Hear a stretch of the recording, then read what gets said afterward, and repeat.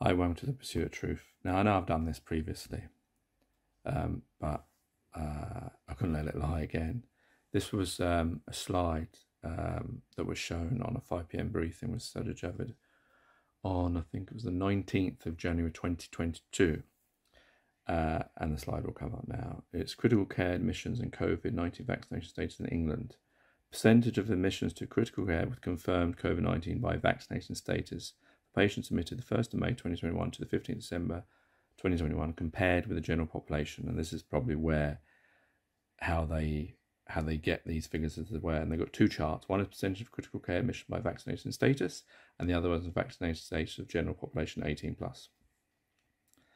Um, so I'm just going to look at the data for December.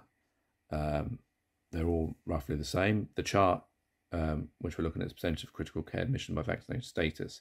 So all of the charts, uh, all, all, of these bars from May to December show unvaccinated is the highest, like 70%. On December, it's got uh, 60% unvaccinated people.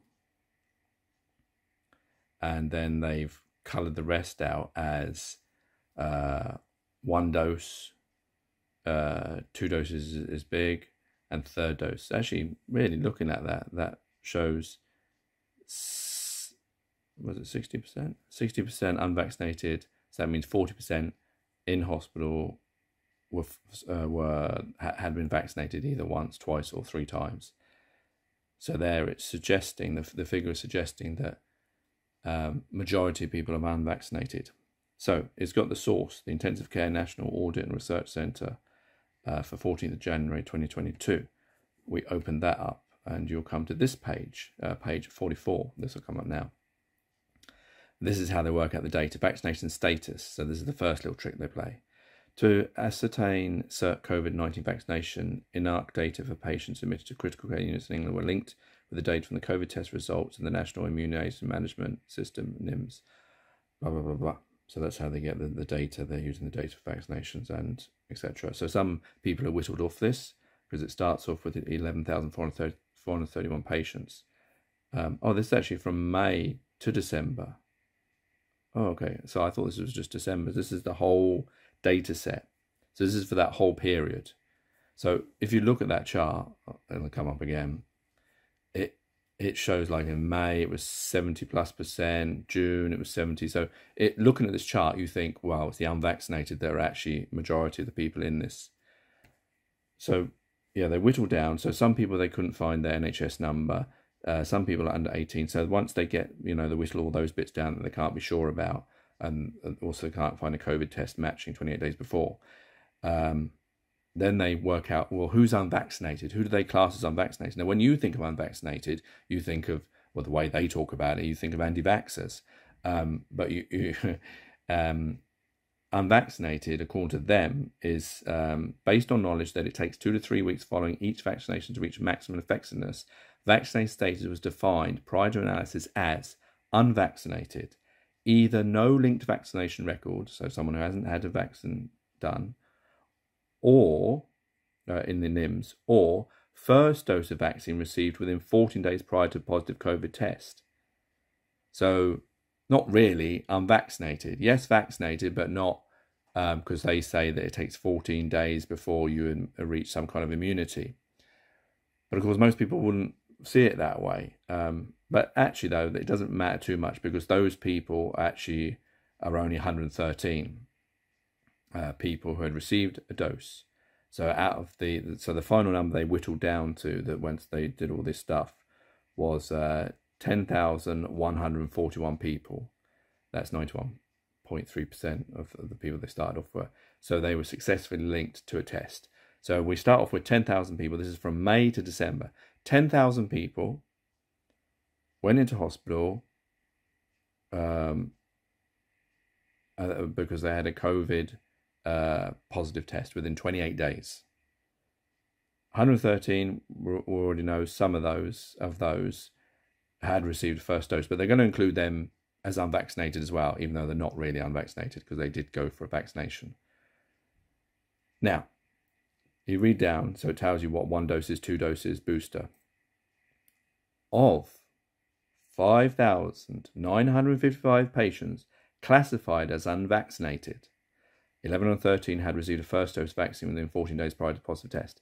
So that tells us that between May and December, almost 6,000 people are unvaccinated out of the 10,141. So we minus that number. 5955 minus 10141. And that tells us how many people were uh, in hospital who were vaccinated either with one plus 14 days, two or booster. And that's 4,196 from May to December. So what that means is from May to December, unvaccinated people was 5,955 and uh, vaccinated people was 4,186. So that's a difference. Um, what was the percentage of that? I mean, it's not much difference, is it? I mean, yeah, maybe 60 40. So maybe their chart is correct. But the problem is their chart split over months. They didn't do like, uh, that's why they didn't do the May to December as one bar. They did it, they split it up.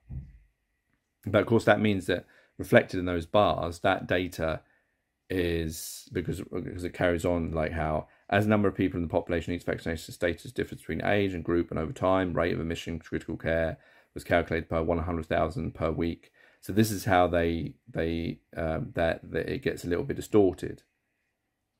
Um,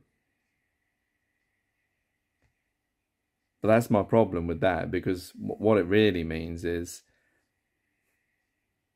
put if you saw that graph, you would think seventy percent you see several times, um, and it, it it looks like it's so much more unvaccinated people that are actually in the hospitals, clogging the hospitals up. They would say, "Get your vaccination done." But when you actually look at this number, the with the difference between was it four one eight six, uh, one eight six minus, uh, was it five nine five five is 1,000 and 1,770. That's the difference between these two numbers. It's not really a great deal of difference, is it? I mean, I suppose they would argue that, you know, you need two doses or this is where the statistics don't work, you see, because if this was brought up to them, they would say, well, wait a minute, that's because the, the reason why so many vaccinated people are in hospital isn't because the vaccines aren't working, um, it's because uh, some of those only had one dose, and so you have to minus that number. And then the ones who had two doses, well, you say, well, they had two doses, but theirs has run out now, and that's why we've started the booster campaign. And of course, not everyone's been boosted. But what I mean, the thing is, what it does show though is that the people in hospital aren't just the unvaccinated people. Um, there's nearly, it's not 50 50, it is maybe like 60 40 throughout May to December. Of course, they don't give you the data for, um, on this one it's different, it's come from a different source. It doesn't actually give you the data for each individual um, month. No, I don't see it there.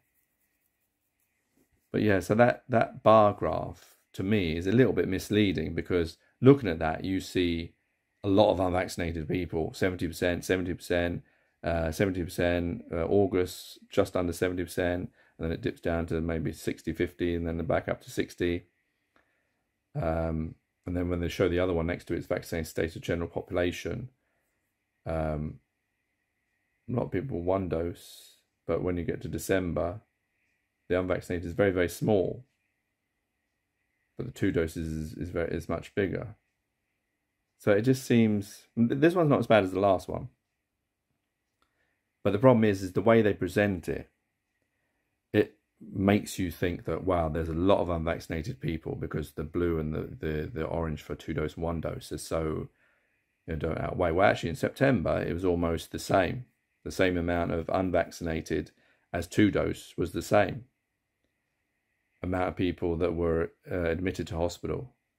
But the way they look at that graph and the way they would talk about it afterwards is vaccinated people, unvaccinated people are, are, are the cause of the, the, the NHS getting overloaded and you should get vaccinated. How dare you not get vaccinated? You should be treated like Novak Djokovic, you anti vaxxer, you.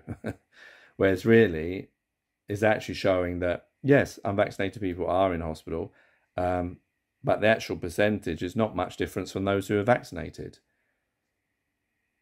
Um, and some of that maybe we also those people who are unvaccinated. I'd like to know who they are, what age range they are, because obviously, according to the other chart that it comes up, I'll try and get this one as well.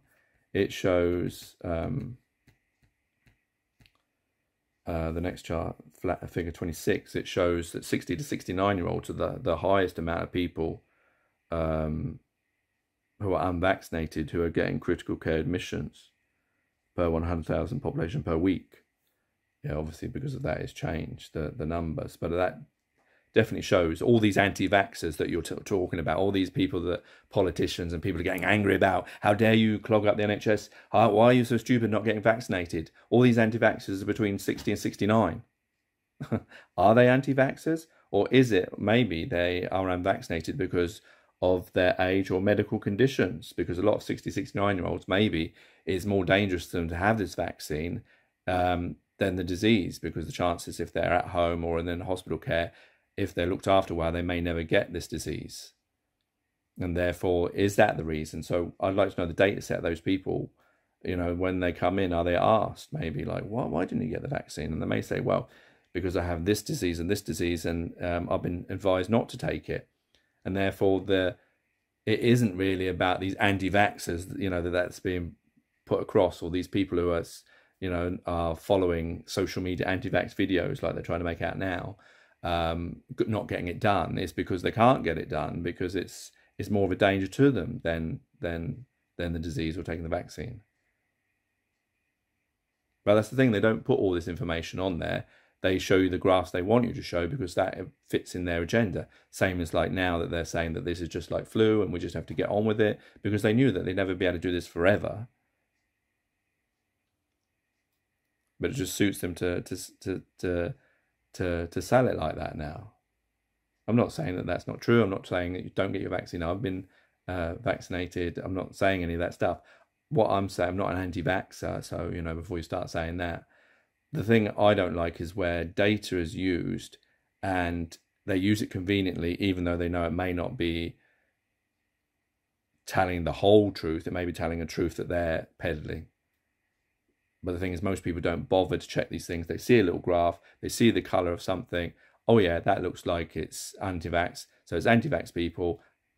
I'm going to now go and troll them or whatever, or go and feel bad about all these people who have decided that they don't want to have this toxin put in their body. Your own body, it's meant to be your own body, but of course you signed it away with a birth certificate. Um, but yeah, this is just one of the examples of what I'm trying to show as this isn't to the same extent as, say, JFK being assassinated by government officials, allegedly, according to Oliver Stone's documentary, or alluded to that.